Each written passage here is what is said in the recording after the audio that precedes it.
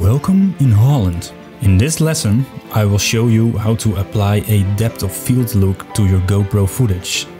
My name is Niels and welcome to the first video of this channel. This video is shot on GoPro and GoPro Karma. Welcome in Adobe After Effects. I already imported my footage. I clicked on File, Import File then I right mouse clicked and create composition from selection. In our newly created composition, I already applied some basic color grading to the footage. And our next step is to create a black solid. So navigate to layer new and then solid and make sure the settings are set to the same size as your composition. In this case 920 by 1080. Our next step is to apply a gradient ramp on the solid. So with the solid selected, go to Effect, Generate Gradient Ramp. When it comes to applying depth of field blur in post-production, we have to tell the software what part of the image is close to the camera and what part is in the distance. The white color represents everything close to the camera and the black color everything in the distance, so in this case the horizon. So now we have to line up our gradient with our drone video. Our first step is to make our black solid invisible by clicking on the eye on the left side and navigate to view and show rulers.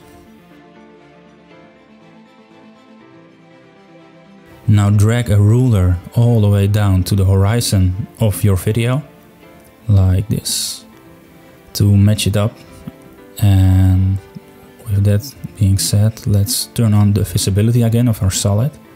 And with the solid selected and your gradient ramp effect, you see two circles appear on the top and the bottom of your screen.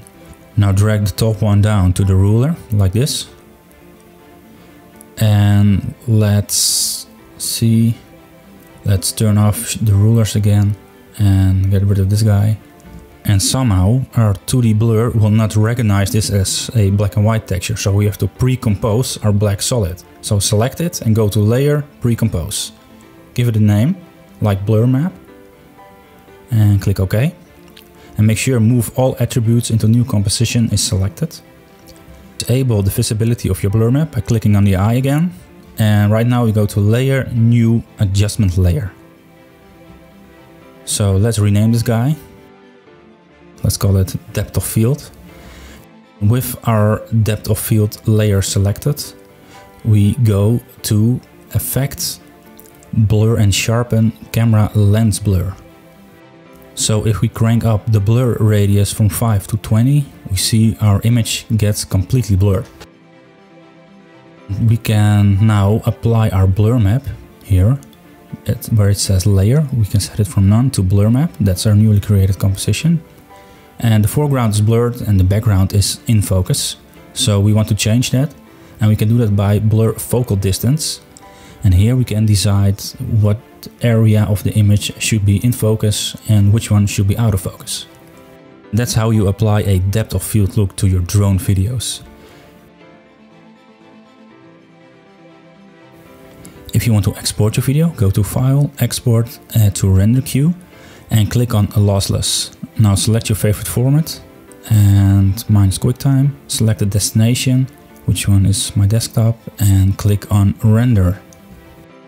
I hope you enjoyed this video and more videos coming soon, so stay tuned and hopefully until next time. Later.